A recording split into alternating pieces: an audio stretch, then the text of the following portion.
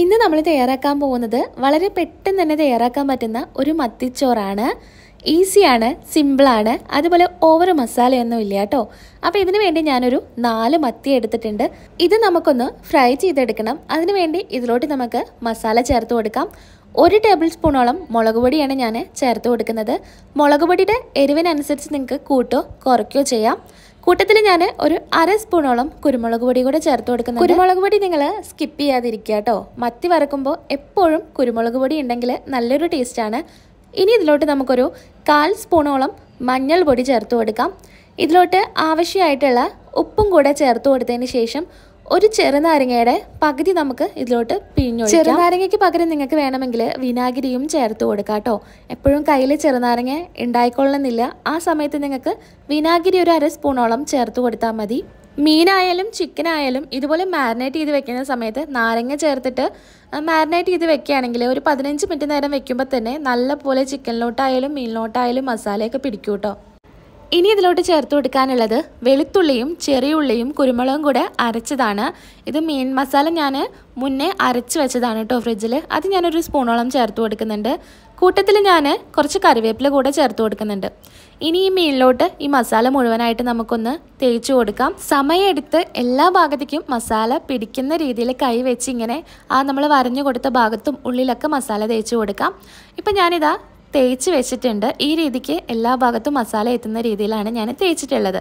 ഇനി നമുക്കിതൊരു ഇരുപത് മിനിറ്റ് നേരം ഞാൻ റെസ്റ്റ് ചെയ്യാൻ വെച്ചിട്ടുണ്ടായിരുന്നു. പതിനഞ്ച് മിനിറ്റ് വെച്ചാലും മതി കേട്ടോ അങ്ങനെ ഈ മീനെല്ലാം ഞാൻ എടുത്ത് മാറ്റി വെച്ചിട്ടുണ്ട്. അതിനുശേഷം ഞാൻ ഈ പാത്രത്തിലോട്ട് തന്നെ മീനിന്റെ പനിഞ്ഞിലൂടെ ഇട്ട് കൊടുക്കുന്നുണ്ട്. ഈ നാല് മീനിന്റെ പനിഞ്ഞിലാണ് കേട്ടോ അതും കൂടെ ഞാനൊന്ന് മാരിനേറ്റ് ചെയ്തിട്ട് വെച്ചിട്ടുണ്ട്. ഇനി നമുക്കിതാ ഈ മീനൊന്ന് ഫ്രൈ ചെയ്തെടുക്കാം. അതിനുവേണ്ടി ഞാനിപ്പോൾ യൂസ് ചെയ്തിട്ടുള്ള ഓയിൽ കോക്കനട്ട് ഓയിലാണ് കേട്ടോ. വെളിച്ചെണ്ണയാണ് യൂസ് ചെയ്തിട്ടുള്ളത്. ഒരു വശം മൂത്ത് വരുമ്പോൾ നമുക്ക് തിരിച്ചിട്ട് കൊടുക്കാം. ഈ മത്തിയാണെങ്കിൽ നല്ല നെയ്യുള്ള മത്തിയാണ് കേട്ടോ. അതുകൊണ്ട് തന്നെ കുറച്ച് എണ്ണയിൽ തന്നെ നമുക്കിത് വറുത്തെടുക്കാൻ പറ്റും. ഇനി നമുക്കിതാ മീൻ എടുത്ത് മാറ്റാം കേട്ടോ മീനൊക്കെ ഫ്രൈ ആയി കിട്ടിയിട്ടുണ്ട്. ഇനി അതേ എണ്ണയിലോട്ട് തന്നെ നമുക്കിതാ പനിഞ്ഞിൽ കൂടെ ഇട്ട് കൊടുത്ത് നല്ല പോലെ ഒന്ന് വറുത്തെടുക്കണം.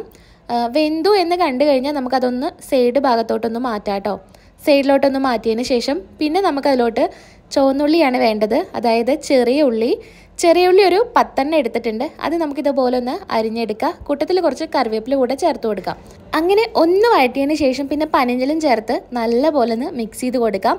ഞാനിപ്പോൾ പനിഞ്ഞിലുള്ള കാരണമാണ് ഞാനത് ചേർത്തിട്ടുള്ളത്. അതല്ലാന്നുണ്ടെങ്കിൽ വെറും ഈ ചെറിയ ഉള്ളിയും കറിവേപ്പിലയും മാത്രം മതി കേട്ടോ. കയ്യിലുള്ള കാരണം ഞാൻ അതും കൂടെ ചേർത്തു എന്നുള്ളൂ. ചെറിയുള്ളി നല്ല പോലെ മൂത്ത് വരേണ്ട ആവശ്യമില്ല കേട്ടോ. ഒരു മീഡിയം മൂപ്പൊക്കെ ആവുന്ന സമയത്ത് നമുക്കിതിലോട്ട് ചോറ് ചേർത്ത് കൊടുക്കാം. ഏത് അരിയുടെ ചോറ് നമുക്ക് ഇതിലോട്ട് ചേർത്ത് കൊടുക്കാം കേട്ടോ. അപ്പം ഞാനിപ്പോൾ ഇവിടെ വെച്ചിട്ടുള്ള ചോറ് ഇതിലോട്ട് ചേർത്ത് കൊടുക്കുന്നുണ്ട്. മൂന്ന് ചട്ടികൻ ചോറാണ് ഞാനിപ്പോൾ ഇതിലോട്ട് ചേർത്ത് കൊടുത്തിട്ടുള്ളത്. ഇനി നമുക്കിത് നല്ല പോലെ ഒന്ന് മിക്സ് ചെയ്ത് കൊടുക്കണം. ഈ ഒരു മസാല എല്ലാ ഭാഗത്തോട്ടും എത്തുന്ന രീതിയിൽ നമുക്ക് മിക്സ് ചെയ്ത് കൊടുക്കാം. ഇതിൽ ഞാൻ എക്സ്ട്രാ മുളക് പൊടിയോ മഞ്ഞൾപ്പൊടിയോ ഒന്നും തന്നെ ചേർത്ത് കൊടുത്തിട്ടില്ല കേട്ടോ. അത്യാവശ്യം എരിവ് ഇതിനുണ്ടായിരിക്കും. കാരണം മീൻ വറക്കുമ്പോൾ നമ്മൾ ഇട്ടിട്ടുള്ള മസാല തന്നെ ഈ ഒരു എണ്ണയിൽ ഉണ്ടായിരിക്കും. അപ്പോൾ അത്യാവശ്യം എരിവൊക്കെ കാണും കേട്ടോ. ഇനി കൂടുതൽ നിങ്ങൾക്ക് എരിവൊക്കെ വേണമെങ്കിൽ ആ ഉള്ളി മൂപ്പിക്കുന്ന സമയത്ത് കുരുമുളക് പൊടി ചേർത്ത് കൊടുക്കാം കേട്ടോ. മുളക് പൊടി ചേർത്ത് കൊടുക്കരുത്. കുരുമുളക് പൊടി ചേർത്ത് കൊടുക്കാം. ഇതുപോലെ മീനൊക്കെ മുകളിൽ വെച്ചിട്ട് ഒരു അഞ്ച് മിനിറ്റ് നേരം തീയൊക്കെ ഓഫ് ചെയ്തിട്ടൊന്ന് അടച്ചു വയ്ക്കുക അതിനുശേഷം തുറന്ന് നമുക്ക് കഴിക്കാം കേട്ടോ. ഇത് കഴിക്കാനായിട്ട് നമുക്കിതാ ഈ മീനിന്റെ ആവശ്യം പോലും ഇല്ല. ഈ ചോറ് തനിയെ കഴിക്കാനും നല്ല ടേസ്റ്റാണ് കേട്ടോ. വേണമെങ്കിൽ നമുക്കൊരു കഷ്ണം മീനെടുത്തിട്ട് കഴിക്കാമെന്ന് മാത്രം. അപ്പോൾ നിങ്ങൾ എല്ലാവരും മീനൊക്കെ വാങ്ങിക്കുമ്പോൾ മത്തി വാങ്ങിക്കുമ്പോൾ നിങ്ങൾ ഇതുപോലെ ഒന്ന് ട്രൈ ചെയ്ത് നോക്കണം. അതുപോലെ നിങ്ങളിത് കഴിച്ചിട്ടുണ്ടെങ്കിൽ എന്തായാലും കമന്റ് ചെയ്യാൻ മറക്കരുത് കേട്ടോ. അടുത്ത വീഡിയോയിൽ നമുക്ക് വീണ്ടും കാണാം.